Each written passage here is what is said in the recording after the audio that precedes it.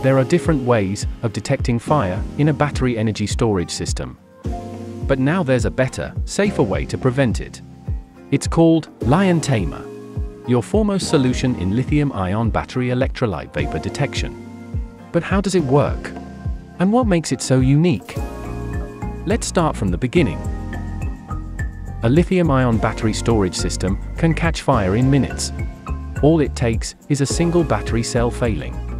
When that happens, the affected cell starts releasing gases known as electrolyte solvent vapors. And the battery temperature begins to rise. Conventional systems cannot detect these early fire threats and don't activate until there's enough gas or smoke in the room. By that point, a process known as thermal runaway becomes inevitable and fire becomes unstoppable. Now, let's rewind.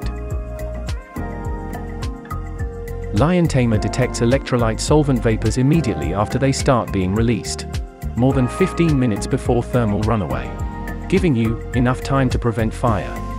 Not only that, Li-ion Tamer can isolate the affected battery racks and initiate ventilation automatically via the battery management system, preventing fire from starting and spreading to other cells, so that your BESS can continue to operate normally. From containerized BESS and data centers to gigafactories and warehouses, Li-ion Tamer protects energy storage wherever is needed. To discover more about Xtralis Li-ion Tamer, visit the website below.